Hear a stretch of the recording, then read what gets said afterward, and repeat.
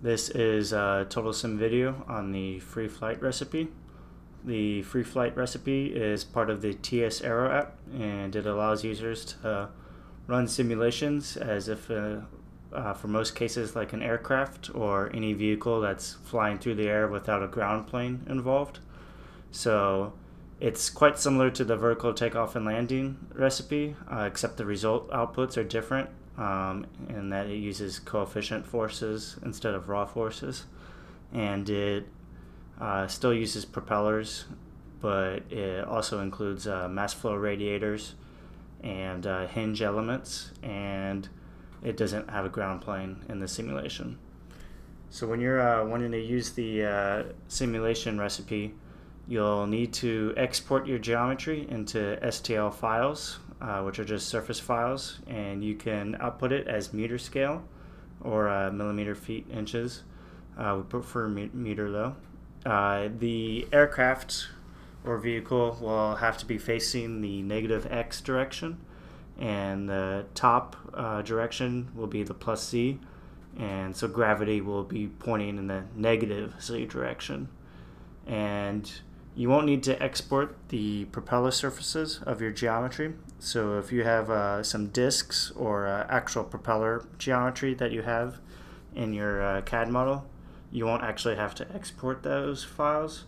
Uh, the app will automatically be generating uh, propeller disks within the simulation itself. And uh, as of May 2018 of this video, we don't have CAD or Onshape imports just yet but we'll probably have those uh, sometime in the near future. And you may also want to have uh, some propeller performance curves uh, ready on hand if you're wanting to model the propeller performance uh, on your vehicle. But we are able to give you some example propeller data that you can use as well, uh, though your results won't make as much sense if you're using data we generate for you since it may not be relevant to exactly how your propellers are performing. So if we go to the uh, geometry that I currently have, uh, for an example, I have this uh, HLP uh, HLPW3 geometry that uh, came from a NASA workshop that we used to correlate some of our data with. And so what you can do is you'll probably want to split up your geometry into several components. Uh, in my case, I have uh, the body for the fuselage. Uh, I have some uh, elements of the wing, so the flat and the no NP, and uh, the slat no NP. And this main, uh, the main wing is going to be part of the main no NP. And so I'll export these all four as four different STL files, which I've already done so here. And then if I go back to the application, uh, when you uh, are wanting to start your project, uh, you'll see no runs yet.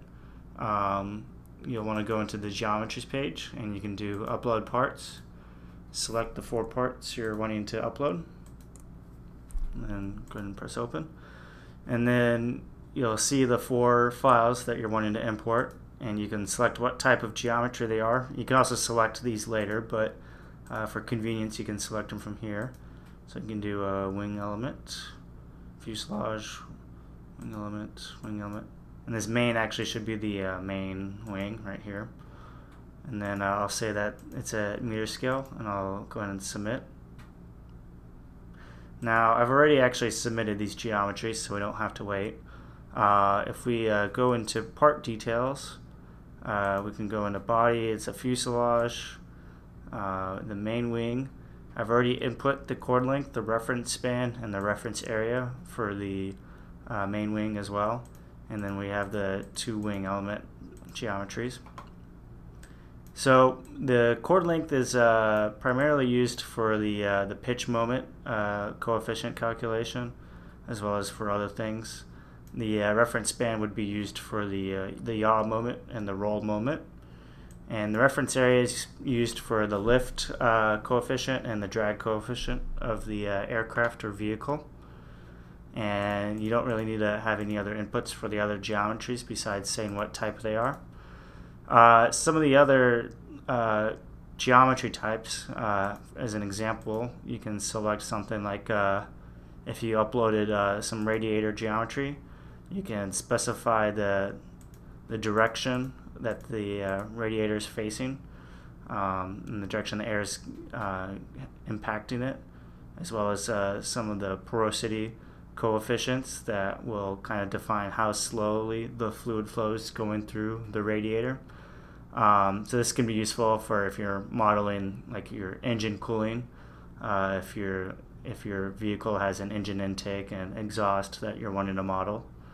Um, you also can do a, a, hinge element, and the hinge element's basically um, a flap or a wing that uh, can rotate uh, around a rotational axis. And so you're setting the two points of the rotational axis here. And during, if you uh, define this, then on the simulate, when you're actually running the simulation, you'll be able to say, I want a zero degree angle or a five degree angle or a 10 degree angle on this hinge element geometry specifically. And it'll automatically rotate it for you uh, when it's running the simulation and it'll also automatically report the uh, the moment forces on this uh, hinge element that uh, is based around these rotational axis. Otherwise, uh, the moments are just based around the uh, reference moment center of the aircraft, which I'll show you shortly. So, anyways, so I've, the other files that I was uploading just pulled up here. So I get a warning because my one of the files I just uploaded still needs uh, the chord length and reference span and reference area, um, which I've already defined here. So I can just delete these files that I uh, had just uh, uploaded for this demo video. All right, so I still have the four files I created earlier. Uh, assemblies um, you usually don't have to worry about uh, for free flight recipe, um, but they can be useful if you are wanting to um, just group up the forces on several different parts. So if I had 10 different parts and I and they were all composing the tail or the wing or maybe the landing gear, I could uh, group them up in this group assembly and uh, I will get some forces at the end that are uh, associated with this test assembly. Um, and let's see. So if I had like several parts here that I wanted to attach to this assembly, I could go like this and attach parts and now I have these two parts associated with this assembly but anyways we don't have to worry about that uh, so for free flight you can uh, create a parametric sweep and what that means is that you can define a series of runs let's call it series 01 or let's call it run 01 maybe uh, we'll specify the the altitude, which helps us define the viscosity, density, pressure, and temperature. If we need to, we can also assign a temperature offset, and that will update the uh, density and viscosity. But I don't need to worry about that. Uh, some of the fields are uh, blanked out, and that's because I'm going to be setting them later because they're param parameterizable. Uh, I'll set the reference moment center to zero but you know, the, usually the reference moment center is going to be the center of your aircraft that you want your moment forces based off of. I'll select the four geometries that I want to be part of the simulation. And I'll click Save. And so now I get this parametric sweep section. And what it's asking me to do is fill out this table with the uh, uh, some some rows of data that I want to test on. So let's say I want to do like four runs and I just want it to be an angle of attack sweep. So I'll have a zero yaw, uh, speed of 40 meters per second, and then I'll copy this three times.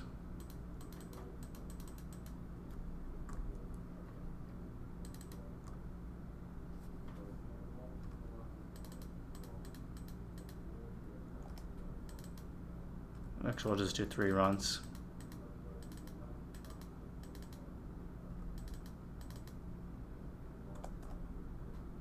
We'll make this an angle attack at 10 and an angle attack of 20.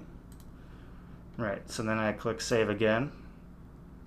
And then what's going to do is it's going to make three runs for me. Uh, the, the three runs are going to have three different uh, alpha or angle of attacks in degrees. And uh, then it's going to let me run these uh, three runs uh, all at once. If I click submit all.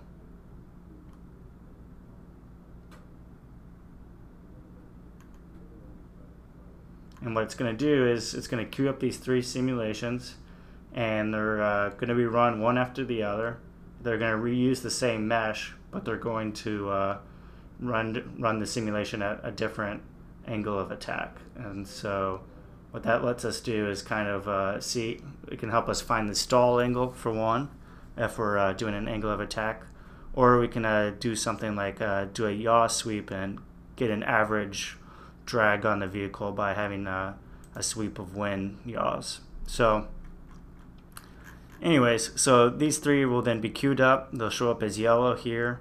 Uh, they'll be blinking because they're currently queued. If I do reload job state, uh, it would probably tell me that uh, these two are now uh, waiting or held and that this one is currently queued. So when this one finishes, these next two will run. And then at the very end, then we'll see the uh, all the uh, all the data for these three runs combined together into a table.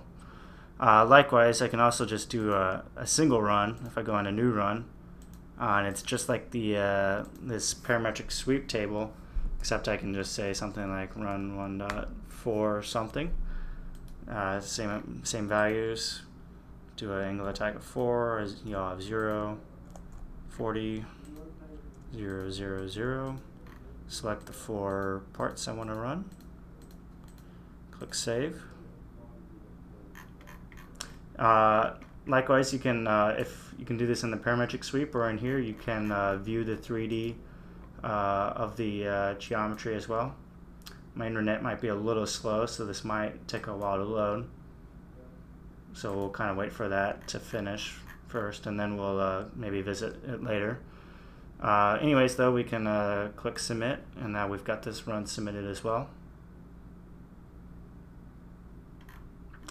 All right, see if this is still loading.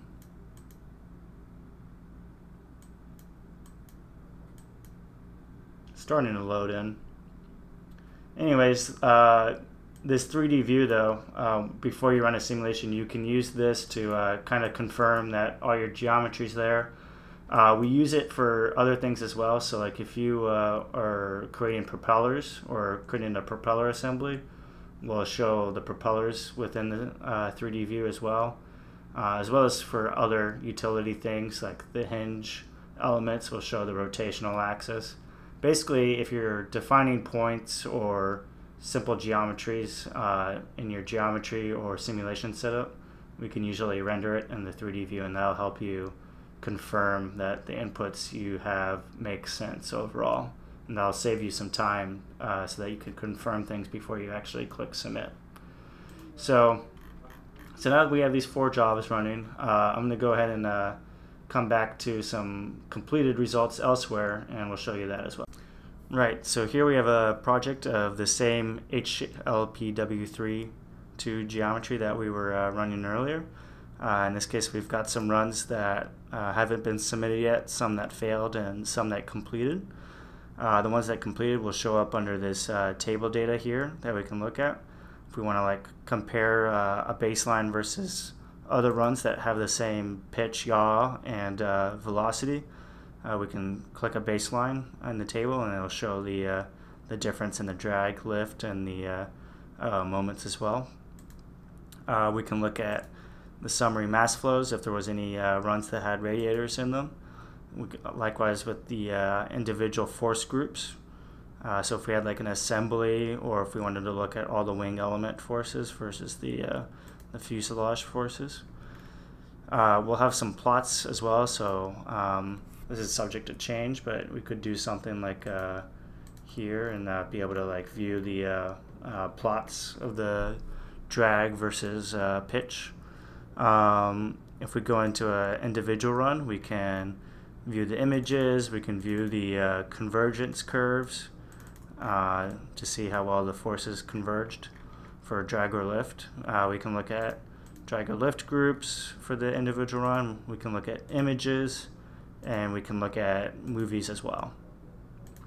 You can step through the movies like so. And so some important tips to remember when using the free flight recipe. The sweeps page uh, will have some different token prices if there are subsequent runs one after the other. And so what that means basically is that if uh, you're rerunning the simulation and it has the same geometry but different sim, uh, different simulation conditions, so like a different angle of attack or a different yaw uh, or a different velocity, then you'll have a different token cost that should be cheaper than if you were just running uh, one simulation per unique geometry configuration. And that's so we can encourage you to perform those alpha sweeps or to perform those yaw sweeps, uh, which is a better uh, habit to do. So you can kind of average between runs to get a final uh, drag and lift value for several simulations at once.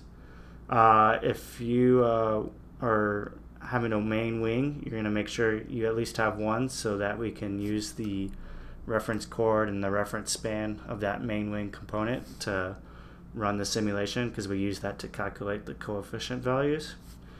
The hinge elements are available if you want to have any parts that you want to upload separately and be able to rotate and get individual moment forces about the uh, rotational axis when you're uh, exporting your part surfaces, you'll want to make sure and double check that the surfaces uh, all combined will result in an enclosed surface and that means it's airtight and won't have any leaks in it because if there's leaks in it we'll have the mesh uh, be much larger and that will impact the solver performance.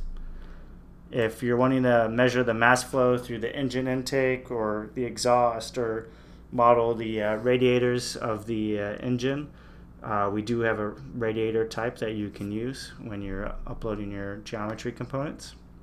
And finally, we have a, a docs page that you can look at.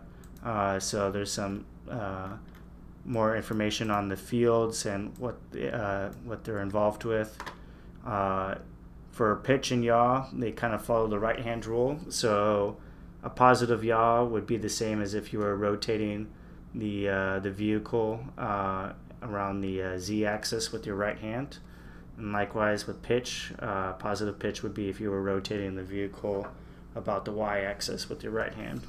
So that's a helpful way to remember it. Likewise, the span here is set, chord length, and the cumulative wing area is what we use for calculating the coefficients. And uh, yeah, and then some more information on uh, the free flight recipe uh, can be found here as well under the uh, run setup uh, page. So that pretty much covers it. Um, we'll um, have uh, be able to answer any questions you have if you email app support at totalsim.us. And that's it. Thanks for watching.